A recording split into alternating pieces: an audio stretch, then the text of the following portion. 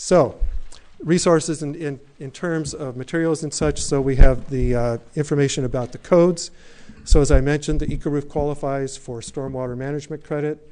If you're doing a project and you trigger our requirement for stormwater management, you can achieve uh, that, uh, meeting that requirement by using an EcoRoof uh, associated with your roof drainage. If you have pavement, it doesn't apply. Uh, as of the last count, we had 23, well, as of this particular information, uh, 2007. So from 2000, 1999 to 2005, we had 23 buildings that got the stormwater credit. There were probably hundreds of buildings that were constructed, but 23 applied for and got the credit for stormwater using an eco roof. And then from 2005 to 2007, we had 27 apply. So it's becoming more uh, popular uh, in the sense I'm sure people are finding, and engineers are finding that not only can they either uh, they can get that credit, but they can reduce the volume of flow, which then potentially reduces some of what they have to do beyond that roof uh, in terms of meeting stormwater requirements. Now, So- you say you get uh, does that reduce your SDCs? Is that no, it doesn't talking apply to SDCs. It's the credit. It's the engineering calculations. So the engineers Or pipes, that kind of thing, you mean? Uh, Yes, smaller pipes, or you don't have to use this kind of treatment system versus this kind of treatment system. For instance, uh, in talking to some developers recently, they're doing projects that it's 100% lot line to lot line building. There is no landscape space on the site. And the old-fashioned way of doing it is these big giant tanks and vaults under the under the basement or in the basement and things like that. And we we promote using vegetated management approaches in the city.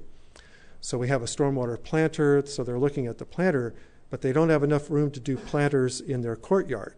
They don't have enough physical space to manage the water as it's required to be managed.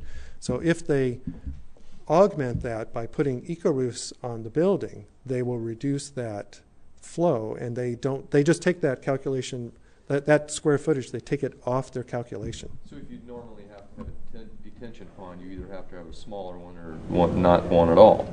Yes, potentially, right. Yeah. And then we have uh, the zoning code 33.510, which is the floor area ratio bonus, that's the FAR.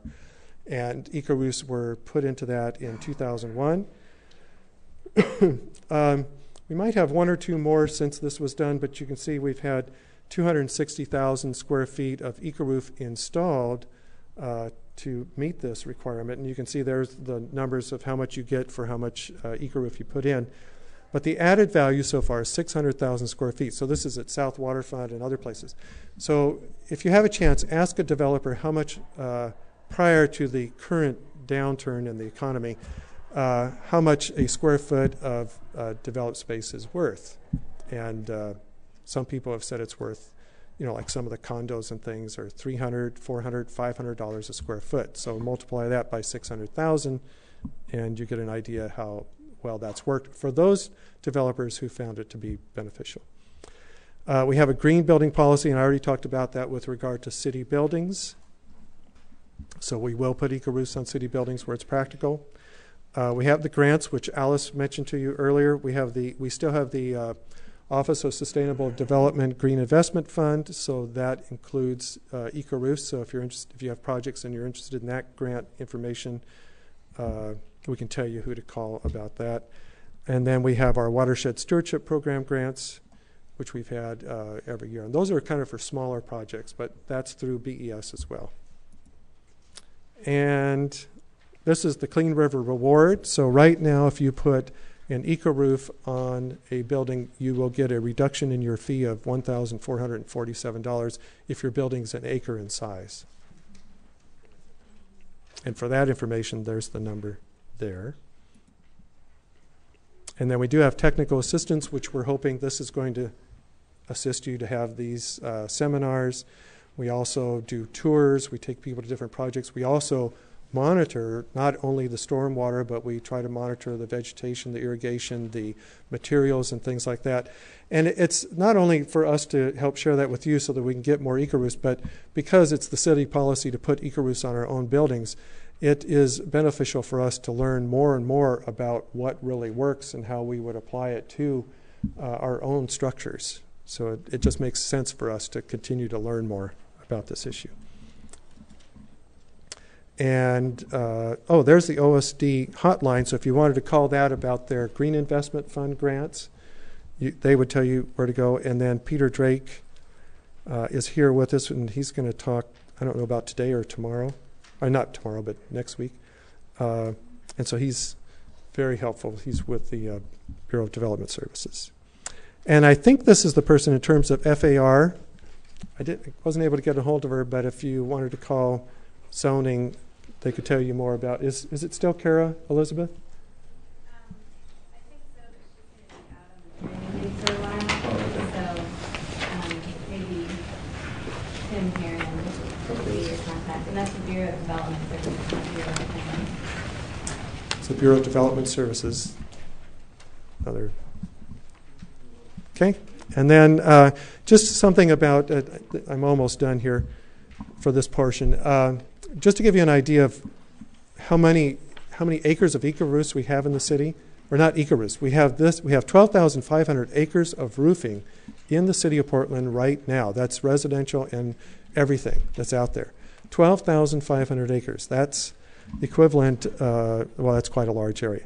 With the development that occurs in the future decades, uh, we have space or the potential of another 10,000 acres of roofing in the city.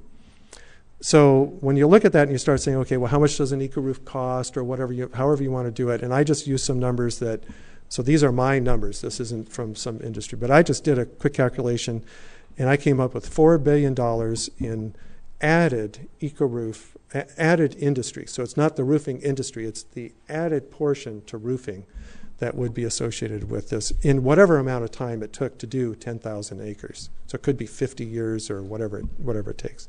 And then there is a certain amount of maintenance with these, and so I used a very conservative number, and that's about $10 million per year of added jobs. So just to give you an idea of how somebody might look at it. This is my garage. That's my, oh, this is my grandson. You can't see him here. Anyway, so I- I've become a grandfather. This is a tulip that, uh, and we'll talk about lots of the plant things uh, next week. And then uh, at this part, I'm going to stop and we're going to take a break. So, any questions before we take a break? Uh, yeah. Um, When you did the um, cost analysis, did you um, factor in the increased FARs and things like that? We did not include FAR at all. Okay, so that. Because there's another, we didn't include FAR and we did not include amenity value, so we didn't get into that real estate kind of area. So there's a lot of money there that is not counted as it relates to those projects that actually can use that. Right. Yeah. Did you just do the cost analysis for that one type of building, or was there Just that a one type of- warehouse somewhere? And, I- you know, that- Yeah, we- obviously, they're going to be different Right. depending We, on. we only did the analysis for that one type of building because it started getting crazy. So we just had to finally say, okay, let's just pick one building to start. Yeah. On the retention studies, were, um, any of the, when, did- do they immediately start those studies? My, my, my question is regarding plant establishment, you know, you know, what's the retention effect once the plants are established versus when are they starting to grow? You know what I mean by, like, the more root mass I have in the soil, am I gaining more holding capacity? Um, Uh, We haven't done that kind of study to be able to give you an answer to that question, but you could surmise that as in Hamilton, each year the retention was getting better, that as the, as the plants and the system matured, that that might be the answer. But we didn't actually specifically study that, so I can't tell you. Yeah. It seems like the retention would increase as the soil depth increases and as the plants mature. I mean, just logically. Seems that way, doesn't it? But Yeah. um, on all the studies, is eco roofs only roofs with soil profiles less than six inches? Are you looking at vegetated roofs that are thicker? For what we're doing with regard to this seminar series, we are talking of generally six inches or less. It doesn't mean we're saying don't use eight inches. It just means that relative to a lot of issues that we're going to share with you, and uh, and especially the structural question associated with uh, with buildings, that the six inches or less. We, you know, we're really interested. I mean, you know, a lot of designers are doing things where they're they're looking at the garden side of things. But we're hoping that you know Fred Meyers and Costco and everybody out, you know, lots of these roofs that are just out and about in the middle of nowhere, just do an eco roof and maybe pay more attention to habitat associated with that eco roof. So uh, so anyway, so you know that's kind of where we're trying to just sort of have the framework for this this discussion. Yeah, yeah. Is the added weight of the eco roof significant enough to affect the structural requirements of the building? It can be quite a bit in some cases. We'll talk about that after the break. Right. We're going to get into that in the design part stuff. Yeah, uh, yeah Wayne, that. Can you comment on the study that came out of King County that says that four inches is the most efficient section for stormwater management? Yes, I can comment. When anybody, including myself, seems to imply that there's a conclusion regarding eco roofs, uh, I try to go, well, but what about that other one that does such and such? So I think it's a little early to come to conclusions, but I think you could say that it appears that this is what's happening. But um, so I would just say that. I'd say it appears, though, that we have said in our stormwater management manual that we want at least four inches. Now, if six or eight inches doesn't give you much more stormwater management, we don't have any documentation to prove that. If somebody else can prove it, that's always great as it relates to their study. But it's it does seem a little bit like something's different there because I mean you, just there are so many unknowns as to what's happening on that roof or those roofs, whether they're ours or or somebody. What was it? I was on a roof the other day and oh, I was on this roof. Yeah, I was on this roof two days ago and uh, the maintenance person had been using uh, the water to do something. The hose was hooked up, and they left the water on. So we have monitoring equipment up here. So I have to let our monitoring guy know that on October 20th, you have to delete that data because there's going to be flow associated with this this uh, the maintenance person leaving the water on. They weren't watering the roof; they had the hose and they were squirting off some mechanical equipment up there. So on these projects unless they, you know, anyway, there's just a lot to learn, a lot of, lot of variables and things like that. But four inches seems like it's pretty good.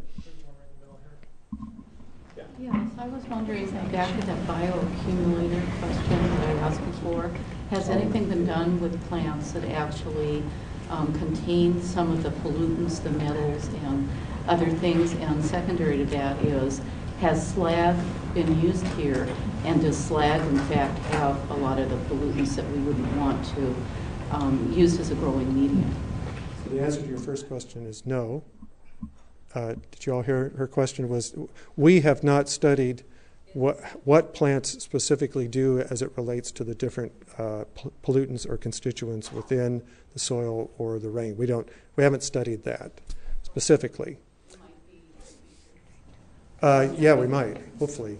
Or we, or we might work with uh, one of the universities. And those- slag yeah. or any, uh, I don't know if anybody's used slag, but our caution is that uh, relative to these uh, soil materials, so just keep an eye on it. I know in Illinois, they've done some research on different materials that they thought, oh, this might be a really good material to put in an eco-roof soil because it's so readily available and it just had characteristic that, characteristics that they thought would would be beneficial in an eco-roof soil. And then they tested it, and it was uh, it was bad. There was something in it that was uh, leaching out, and it was pretty bad. And they said, okay, don't use this stuff. It was some kind of glass byproduct. Of, Of the cement company? some something, yeah. So so there's a lot of byproducts. Just we need to be careful and and and uh, ask those questions. So I think uh, one last question, and then we need to take a break, and we can we'll, we're going to be here all day and stuff. So. Monitoring system? Uh, the grant funds are, no, they're, they're for eco-roofs. We do have money in our budget, a certain amount anyway, for monitoring. Uh, So other grant funds would be possibly available. If we wanted to, if we wanted to monitor one of the roofs? uh, I don't know, maybe. Yeah, maybe the stewardship grant or something, I'm not sure. how to answer. He was asking if the grant funds were going to be available for monitoring an eco-roof. And currently, the grant funds that we're talking about, the $5 a square foot, is for building eco-roofs, pretty much.